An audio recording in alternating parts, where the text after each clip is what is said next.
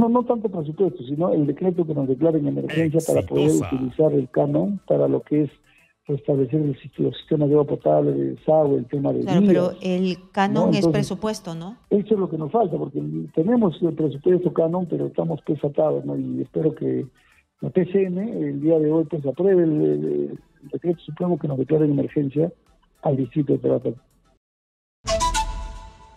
¿Cómo está? Efectivamente, es este, eh, las lluvias intensas en la parte sur de Perú, específicamente en el distrito de Torata, provincia de Maricalito, región Moquegua.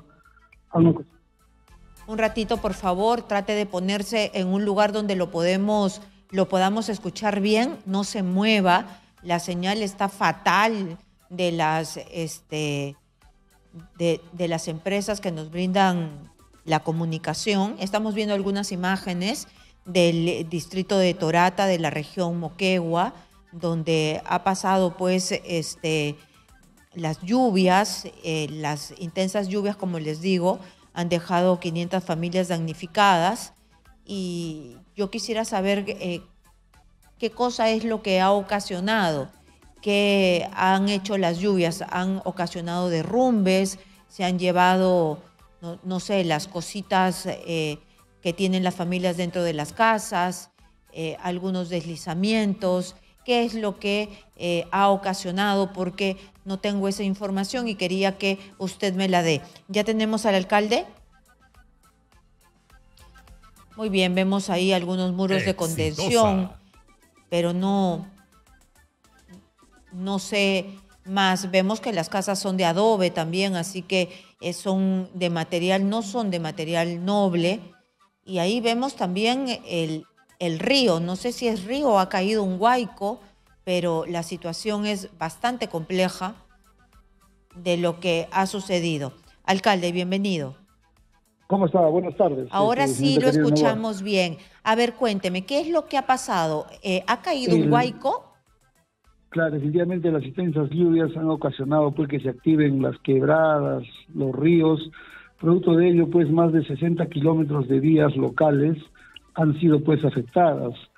El 80% de infraestructura de riego en nuestro distrito también ha sido afectado. De igual manera, el 70% de todos los sistemas de agua potable y alcantarillado ha sido afectado. Tenemos más de 500 familias damnificadas y 300 casas que han sido afectadas, entre casas inhabilitadas, colapsadas. Definitivamente la naturaleza se ha enseñado con el distrito de Torata un distrito que ya de por sí es, importante para la economía del país, ya que tenemos dos mineras, tanto Sauder y Queyabeco. Pese a ello, nosotros hemos organizado un equipo de respuesta con nuestros recursos propios hemos podido este, restablecer eh, de manera temporal la transitabilidad vial. ¿no? Ah, el tema del agua potable aún estamos en proceso de, de conexión temporal eh, al igual que este y todavía queda pendiente lo de riego, queda pendiente lo de las viviendas que han sido afectadas, así como los terrenos agrícolas que han sido... Lo que pues, nosotros este, estamos viendo en este momento en imágenes es una pista, es, ¿está pasando el huaico en el medio de una pista? ¿O es que eso no está...? ya, ya, entonces... Es un tema que las gestiones anteriores pues han hecho obras en medio han de, hecho obras, ¿no? Sí. Eso lo que nosotros estamos viendo, lo que estamos viendo es lo que no debería pasar jamás, ¿no? Es decir, eh, las casas en medio de una quebrada, las pistas, lo que me han enseñado a mí los geólogos durante todo este tiempo que tengo de periodista es de que cuando se asfalta una pista eh, hace que el huaico eh, incremente su velocidad, ¿no? Entonces, ¿Qué obras se han hecho para evitar esto, ¿no? esta tragedia?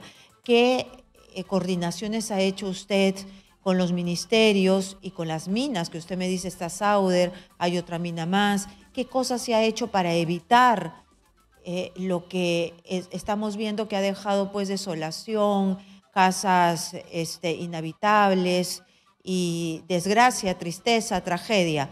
Qué cosa es lo que se puede hacer y lo que se ha hecho.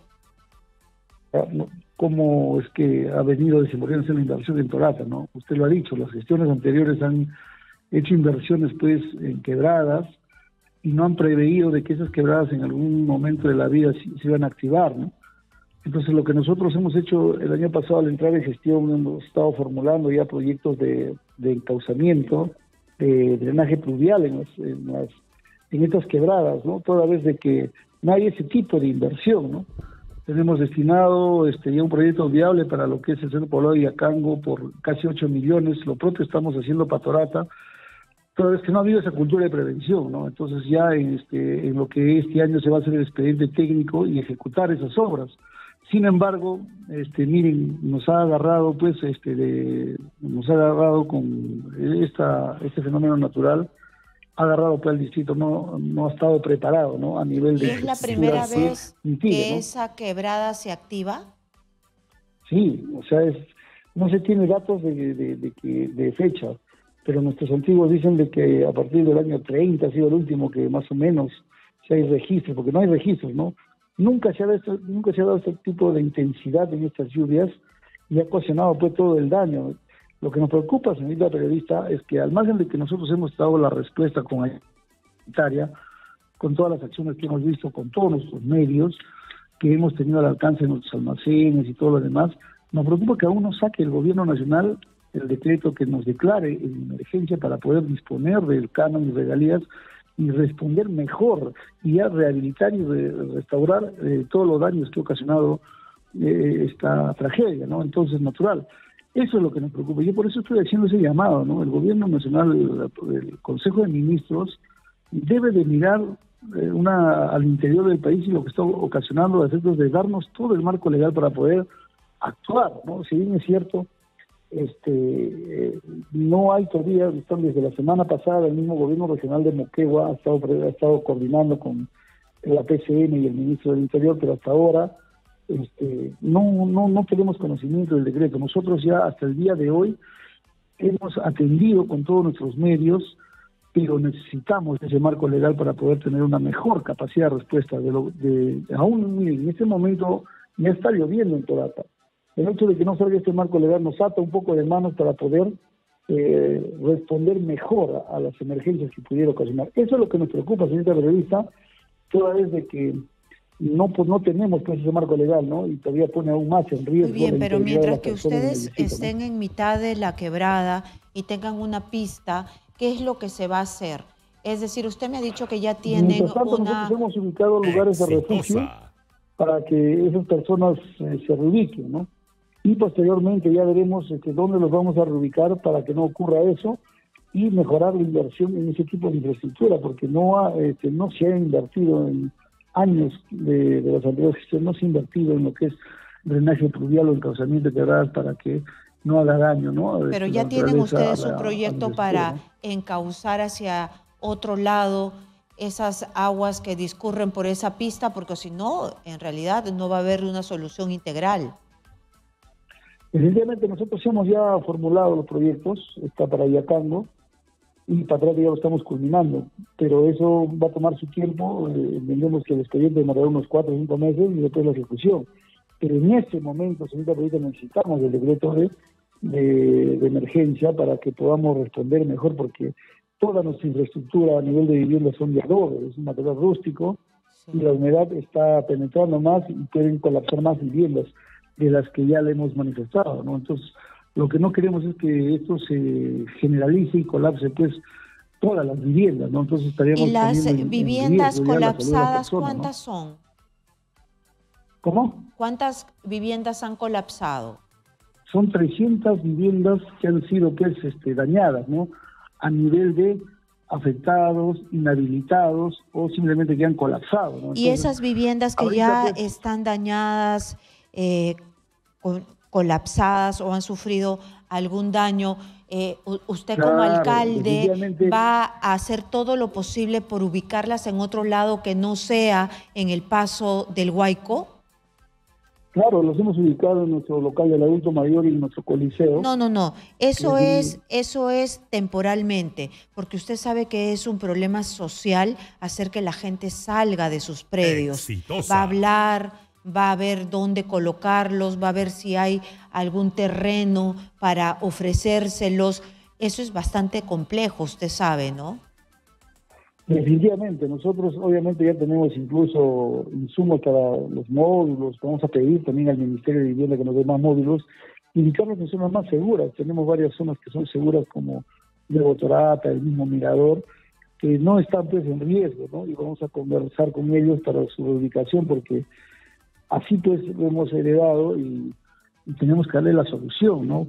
Entonces en ese sentido sí estamos este, trabajando ahorita, nuestro equipo municipal pese a las limitaciones del marco normativo, hemos tratado pues de responder ante, ante toda esta catástrofe natural, pero necesitamos eh, un marco normativo, estaríamos también incurriendo en alguna falta. claro, entiendo, entiendo eso, pero pues, usted cree, pero ¿y usted cree que las personas que viven allí, que tienen su casa, la que, las que hemos visto que eh, tienen material noble y todo, se quieran mover de ese lugar?